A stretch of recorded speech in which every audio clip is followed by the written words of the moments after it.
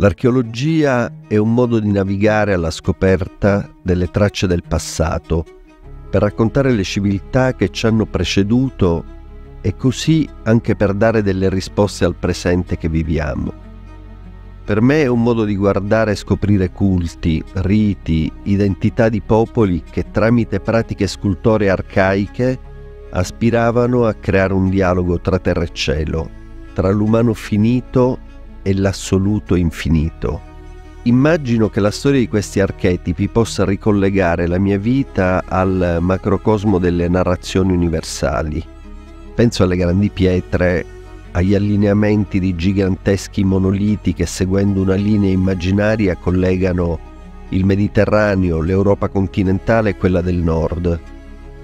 Dalla Sardegna, mia terra natale, alla Sicilia, isola in cui sono cresciuto, questi monumenti del passato, attraversando l'arco alpino e prealpino, si ripresentano nei territori celtici della Bretagna, in Francia e nelle isole dell'Oltremanica, in Scozia. La connessione alle antiche pietre erette dall'uomo in tempi preistorici, simboli del sapere degli antichi e della loro relazione con l'universo, contribuisce all'attivazione di nuovi processi mentali un engramma, una traccia mnemonica, un'impronta che si forma nella mente quando nuove informazioni o nuove esperienze vengono assimilate.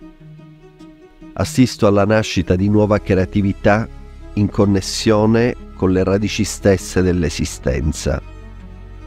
All'interno di questo mio viaggio nascono gli Illusory Bodies una serie complessa di elementi installativi, scultorei, che costruiscono un paesaggio archeologico, immaginario e metafisico.